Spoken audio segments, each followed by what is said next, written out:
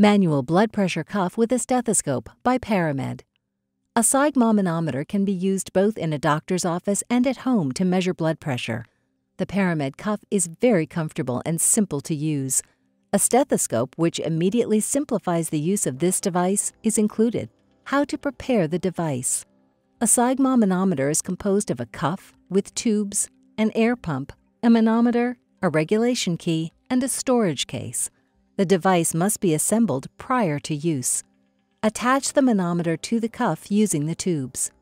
We also recommend inserting the cuff's edge into a special D-ring. Do not touch it after completing this step. Place the cuff in front of you so that the ring is in front. Insert the cuff's edge so that it's inside the ring. The special seal on the edge will prevent the cuff from falling out of the ring. How to put the cuff on correctly. You can put the cuff on your arm yourself or with someone's help. We recommend putting it on your left arm 2 to 3 centimeters, 1 inch, above your elbow. Pay attention to where the cuff's tubes are. They should run along the center of your arm. Look for the word artery on the cuff for orientation. Wrap the cuff around your arm so that you can fit one finger between the cuff and your arm and attach it with Velcro. The manometer has a special fastening tool so that you can attach it in a place that's comfortable for you.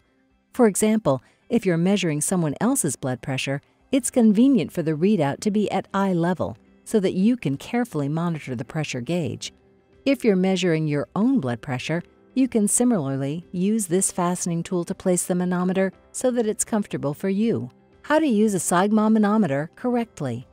Put the stethoscope on and place the head on your humeral artery, a bit above the elbow joint, facing the body where the artery usually runs. You can secure the stethoscope using the cuff.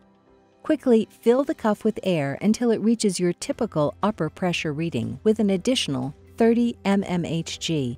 Then stop pumping in air. Start letting air out of the cuff so that the manometer's arrow descends 2 to 3 marks per second. At the same time, Listen to your heartbeat using the stethoscope. When your heart beats, the arrow usually makes a short, abrupt jump. Note the pressure when you first hear your heartbeat. This is the upper or systolic pressure number. Note the pressure when the sound stops.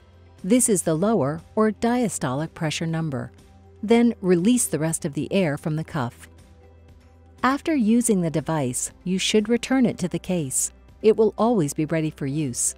We recommend writing down your measurements, which will help you and your doctor analyze your health. How to calibrate the device using the key. If the manometer's arrow is not in the small rectangle, it needs to be adjusted. Insert the key that came with the device into the air guard opening and gently turn it.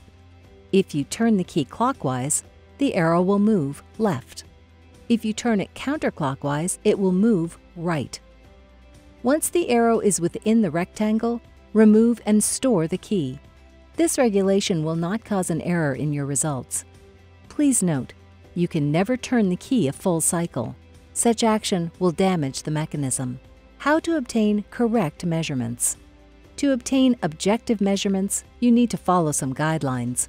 Never measure blood pressure under the following circumstances right after taking a shower or bath, right after drinking coffee or tea, right after drinking alcohol or smoking, right after physical exercise.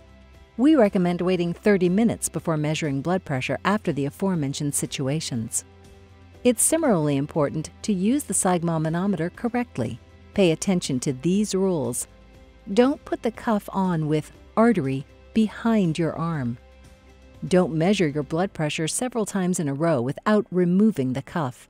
Don't let the tubes get pinched when putting the device away. Paramed will be your reliable assistant for blood pressure measurements. Use it comfortably, be healthy, and stay safe.